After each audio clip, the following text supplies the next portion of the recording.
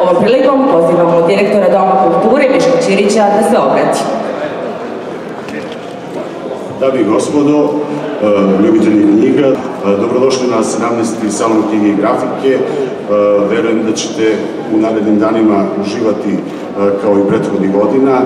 Mogu da kažem da je prethodnih godina, prethodnih 16 godina na salonu knjige i grafike zaista bilo toliko posetilaca da verujem da svaka kuća u Pirotu, svaka porodica ima po neku knjigu koju je kupila na našem salonu knjige i grafike.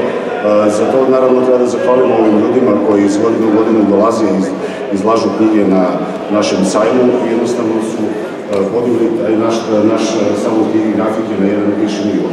I ove godine, kao i prethodnih, smo pripremili dosta interesantnih događanja, dosta promocija knjiga, što večernih, što dečijih.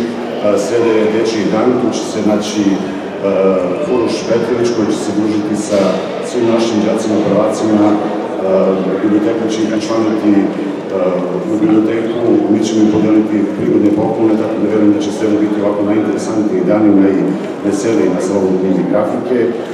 Četvrtak je dan kada ćemo podeliti sajamska priznanja, kada će se čuti koji su, ko su dobitnici nagrade za kratku priču, naravno objavit ćemo zborne kratke priče.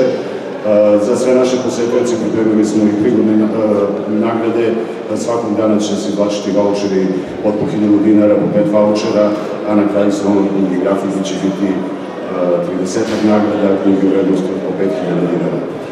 Posebno nam je zadovoljstvo što će ove godine naš salon grafike otvoriti jedan piličanac koji je zaista svojim godišnjim radom to i zaslužio.